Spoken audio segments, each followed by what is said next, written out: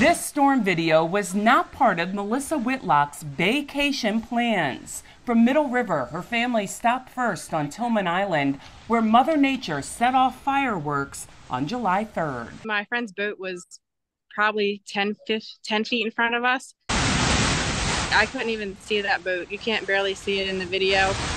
The National Weather Service now calls the storm a microburst. It actually ended up having a wind gust of 84 miles per hour as it was moving on shore. Meteorologist Cody Ledbetter says there was no evidence of a tornado. We can tell the difference by how the trees are laid out.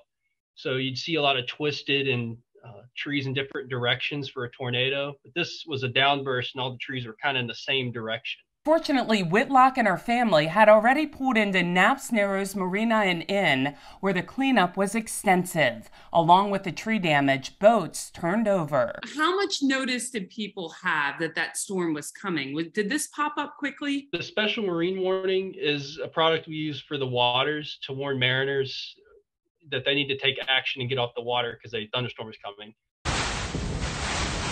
And we issued one of those at six o'clock for that portion of the bay. And it was you know over central maryland at the time and it got over the bay probably around 625 630 before pushing uh, onshore into talbot county there. He says staying weather aware the entire time you're out is best. So the biggest thing we always suggest is to have multiple ways to get warnings so, you know, boats are outfitted with radios that, you know, have a frequency that should go straight to our warnings that we issue. Cell phones, the NOAA weather radios. Um, I know there's weather radio stations on the, you know, on boats.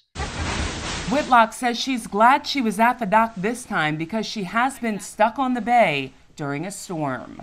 You can't really anchor because the wind will blow you around. So you gotta kind of just drive slow. The National Weather Service reminds us to go to any means necessary to get off the water when warnings are issued about a strong storm. For Chesapeake Bay Media's Bay Bulletin, I'm Cheryl Costello.